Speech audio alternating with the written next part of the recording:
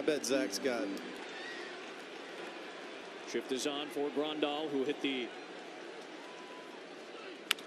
bouncing ball to the right side. They're coming home with it. The throw is away from the catcher Maldonado. Tom Hallion got taken out by Robert. Abreu goes into the ball, third. the ball hit the runner. Grandal was inside the line.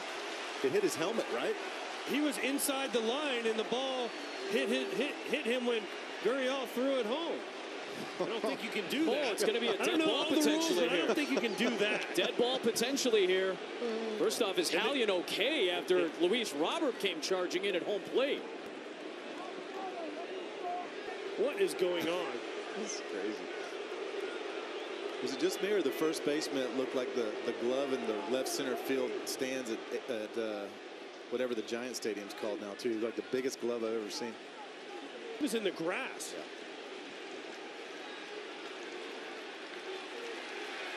Saying it doesn't matter where he runs. Here, here's the question, though. Isn't it, isn't the, the 45 foot box, right?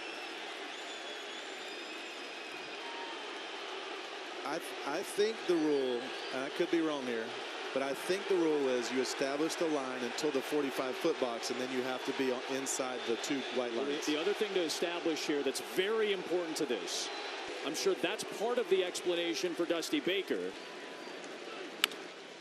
So Grandal's already inside the line. That was he didn't go out of his way. I'm not going to say potentially he to- did that on purpose, Right, right, right, but he did that on purpose. he did not do it on I purpose. mean, I he think kinda, that might be the veteran He stuck play. his shoulder right into that ball.